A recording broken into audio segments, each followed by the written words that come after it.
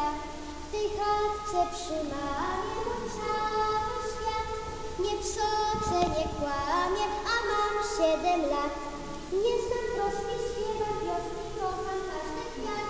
Powiedzie nas górek, a nas nie brak.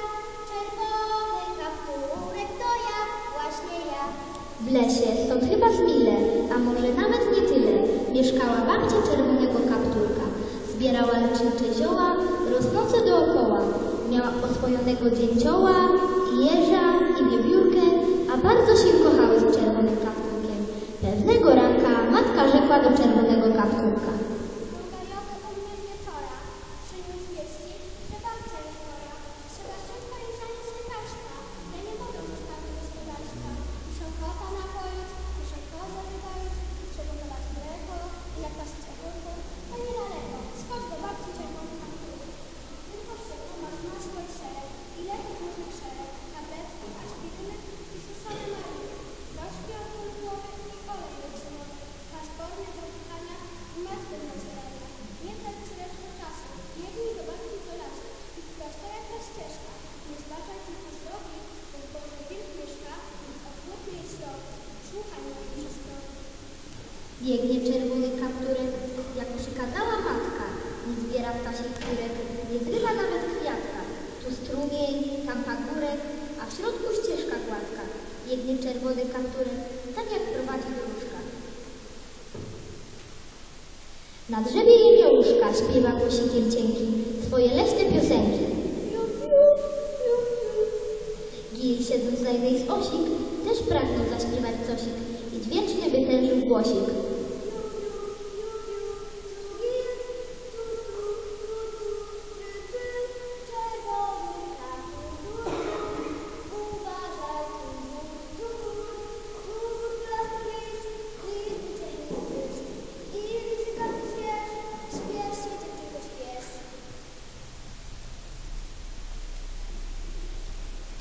Kiedy śpiew Gila znikł, zatrzeszczał w pobliżu krzak.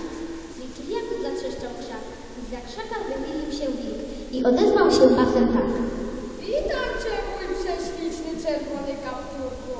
Nie bój się moich rządków, ani moich pasmurków. Oczernili mnie ludzie przed tobą, a ja jestem niewinną osobą. Ja wywodzę się z takich wilków, co nie krzyczą nawet motylków. Ja po prostu mięsa nie trawię, bo przestaję na jak woda to, co ludzie mówią, to plotki. Chcesz dziewczynką, to się tobą pobawię. Może w kotki, a może w łaskotki, a może w kosi kosiła. Panie Wilku, ja idę do babci. Babcia chora i czeka od rana. A gdzie mieszka babunia kochana? Za polaną, przy siódmym pagórku. To pośpiesz się, czerwony kapturku. Babcia czeka od godzin już kilku. Muszę lecieć. Pa, pa, panie Wilku. Biegnie czerwony kapturek, biegnie prosto przed siebie. Nie ogląda jaszczurek, ani chmurek na niebie. Nóżkami szybko drewce, do babci, co w izdebce, na przyjście wnuczki czeka. Wilk spoglądał z daleka. Postał jeszcze z minutkę i popędził na przełaj skrótę. Popędził przez ostępy, złowrogi i podstępny. Knął szybko borem lasem, tak podśpiewując basem.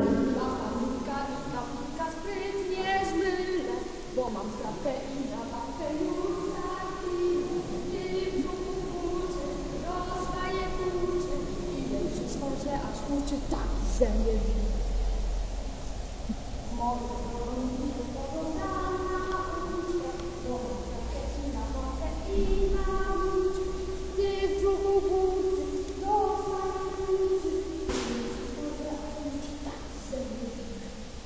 Zaszumiały drzewa żałośnie, zatrzęsły się dębowe żołędzie, zaterkotał derkacz na sośnie.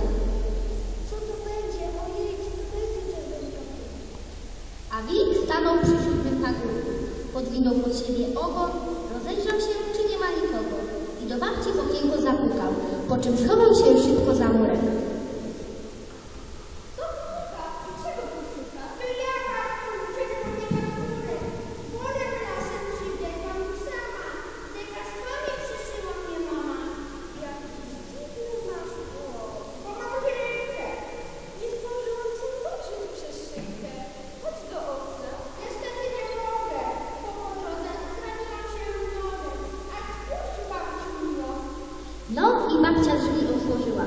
Możecie sobie, moi drodzy, wyobrazić, co się wtedy stało. Dopisać tą tu jest za mało. Przerażenie zaciska w rozgarnie. Powiem krótko. Wszystko się wdarło i ryknęło.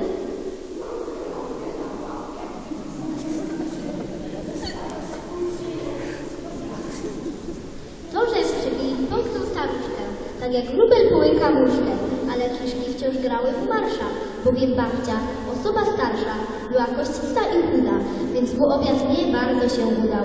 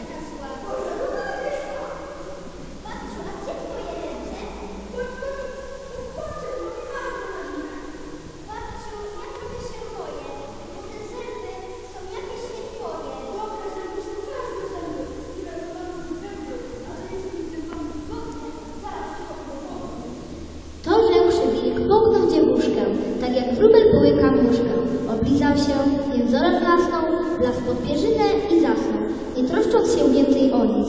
Ale to, moi drodzy, nie koniec. O nie, bo właśnie z Dąbrowy szedł tam ze strony gajowy. Posłuchał, co gil wyśpiewał, posłuchał, co szumią drzewa. Potem jeszcze przybiegła wiewiórka i tak się dowiedział o losie czerwonego kapturka.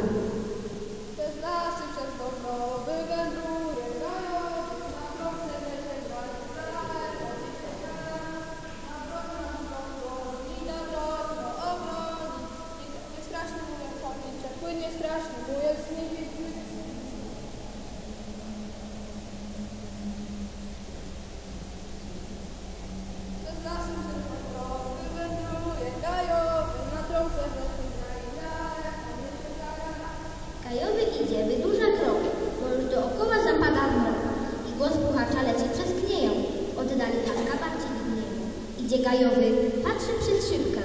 O, tu potrzebne działanie szybkie. Wchodzi do środka, zapałką świeci i cóż zobaczył? Skarbnicy dzieci. Wilk pod pierzyną spokojnie hrabie, trzyma czerwoną czapeczkę w łapie, a brzuch ma taki pękaty, że zajmuje nieomal ruchami. Gajowy mu do gardła przystawił rurkę.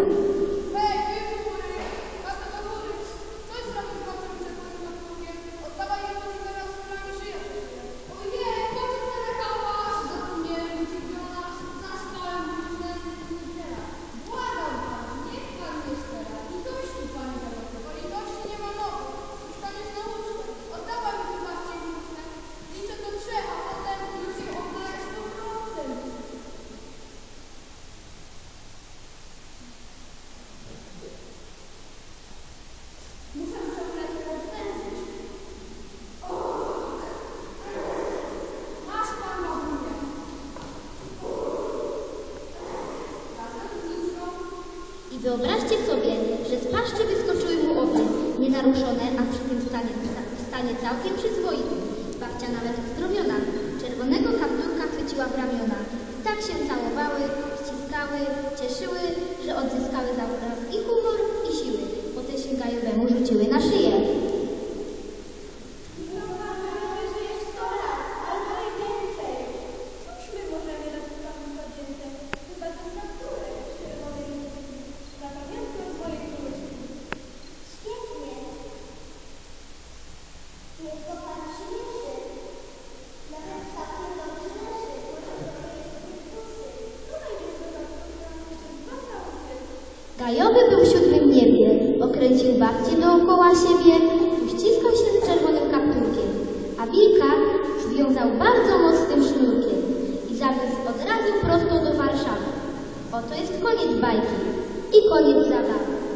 wiecie, co z wilkiem się dzieje?